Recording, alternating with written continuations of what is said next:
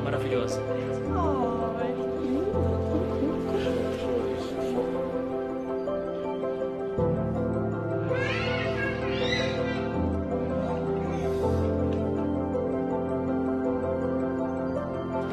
Agora